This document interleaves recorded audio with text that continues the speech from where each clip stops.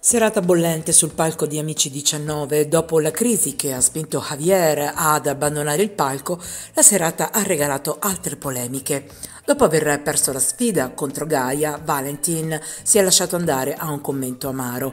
Nelle gare sono abituato a focalizzarmi sulla gara, qui ci focalizziamo su altre cose e non riesco a restare concentrato, ha detto il ballerino. Anche se dovessi vincere con Jacopo, io me ne vado, anche perché prima era chiaro che Javier aveva ballato molto meglio di Nicolai. Frasi contro la giuria che non sono piaciute a Maria Di Filippi, che si è infuriata. Ora basta, lo ha interrotto la conduttrice. Se vuoi andare, puoi andartene, senza fare la sfida con Jacopo. Questo programma è così da vent'anni. Hai avuto un altro insegnante perché non ti andavano bene i tuoi professori e non li rispetti. Mi riferisco a Natalia. Spesso la correggi. Pensi di essere più bravo della Titova?